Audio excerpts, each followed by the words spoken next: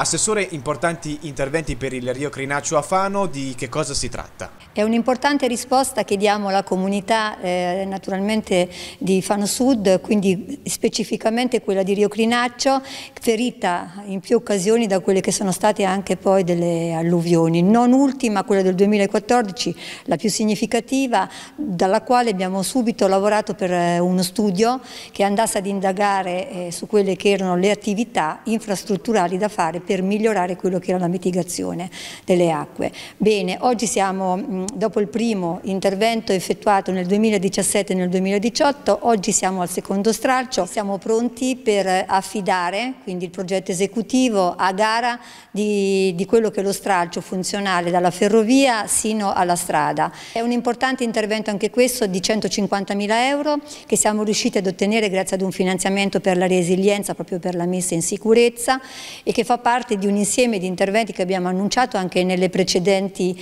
interviste che erano la, la, la, la frana di Carignano piuttosto che il, il, sottopasso di Ponte Sasso proprio perché l'amministrazione è molto attenta a tutto quello che è un sistema di sicurezza che va a favore dei propri cittadini. Allora, gli interventi del progetto, come dicevo prima, che riguardavano il tratto dalla, dal ponte ferroviario sino alla strada, specificamente riguardano l'eliminazione di quello che è questo percorso percorso pedonale oggi inutilizzato perché di fatto di fianco c'è il sottopasso ed è lì che passano diciamo, le persone a piedi, e quindi questo verrà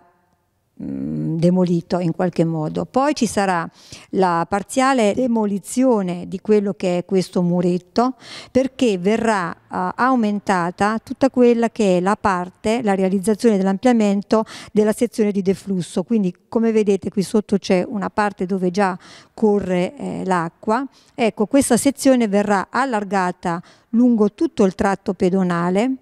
e quindi con un rifacimento diciamo, della soletta in calcestruzzo armato e anche relativo a quelli che sono i muretti della sponda destra. Oltre questo verrà poi naturalmente ricostituito un muretto che si allinea a quello già esistente eh, di ANAS, per cui ci sarà una messa in sicurezza, il deflusso si congiungerà a quello invece che abbiamo realizzato nel corso del 2017-2018, ecco che la pertinenza diciamo, di, di scorrimento sarà più ampia. Gli obiettivi di questo ultimo intervento erano appunto per migliorare quello che era la qualità idraulica, ma anche per diminuire l'ostruzione che in questo tratto purtroppo si è verificato negli anni. Oltre questo eh, naturalmente l'intervento intervento sarà un intervento abbastanza veloce perché lo daremo in affidamento entro fine anno per partire con i lavori i primi mesi del nuovo anno.